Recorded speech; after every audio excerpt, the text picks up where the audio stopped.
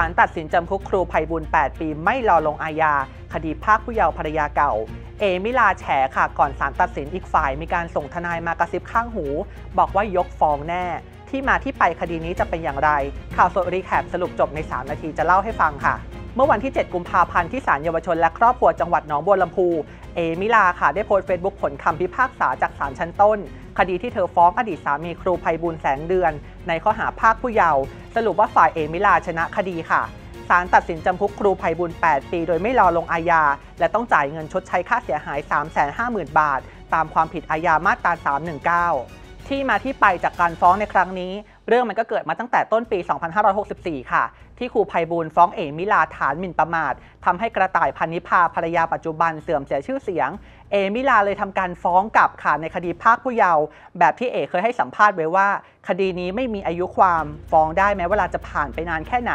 จนนำมาสู่การตัดสินในวันนี้ค่ะ เอมิลายังบอกอีกว่า ก่อนจะเข้าไปฟังคำพิพากษา เห็นผัวเมียขับรถ BM มาดูเหมือนจะไม่รู้สึกสำนึกผิดอะไร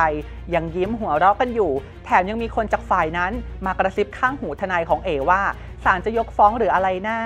เอมิลายังขอโทษแม่ค่ะ บอกว่าที่ผ่านมาทำให้เสียใจเพราะเลือกคนผิด ต่อไปนี้จะไม่มีใครมาว่าครอบครัวของเราได้อีกแล้ว ขอบคุณทุกกำลังใจเหมือนได้โลกใหม่ ได้ชีวิตใหม่ที่ได้ทวงความยุติธรรมให้ตัวเอง อย่างไรก็ตามค่ะคำพิพากษาในวันนี้เป็นการตัดสินจากศาลชั้นต้นเท่านั้น แน่นอนว่าหากจะสู้กันให้ถึงที่สุด ยังมีชั้นอุทธรณ์ไปจนถึงฎีกา ทางฝ่ายแพ้คดีค่ะ ก็ยืนยันว่าจะอุทธรณ์สู้คดีต่อไป และนี่คือเสียงของครูไพบูลค่ะ ทางเหมือนศาลเขามีหน้าที่ตัดสินให้เขาก็ต้องตัดสิน ไม่ว่าจะตัดสินมาแบบไหน มันก็ต้องอุทธรณ์กันอยู่แล้วนั่นก็เป็นเรื่องธรรมดาเป็นสิทธิตัดสิน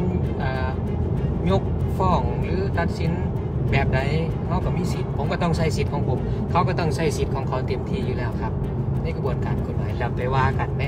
สั้นอุทธรณ์สั้นฎีกาก็ว่าไป อันนี้มันเป็นเพียงแค่ เขาเอินไปเลยชั้นแรกขั้นแรกนั่นสินะผมก็บอกเคยเป็นดอกผมก็เป็นครั้งแรกในชีวิตนี่แหละครับที่เคยได้ขึ้นลงขึ้นศาลเป็นครั้งแรก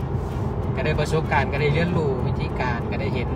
พฤติการพฤติกรรมของคนในศาลเนี่ยบางทีการคอมเมนต์มันก็ควรให้เกียรติตัวเองนะครับ คุณคอมเมนต์ยังไงก็เกียรติคุณก็มีแค่นั้นแหละครับ สิ่งไหนควรไม่ควรแล้วก็มันถูกไม่ถูกมันก็อยู่ที่คุณ เหมือนคำที่เราพูดออกไปนี่แหละครับเขาบอกยังออกไป คนแรกที่สิได้ยินคือเฮาครับ เพราะฉะนั้นแล้วคุณก็สิได้รับสิ่งที่คุณบอกออกมาหรือคอมเมนต์ออกมา การไม่รู้จักการให้เกียรติคนอื่น ก็สอให้เห็นถึงสันดาน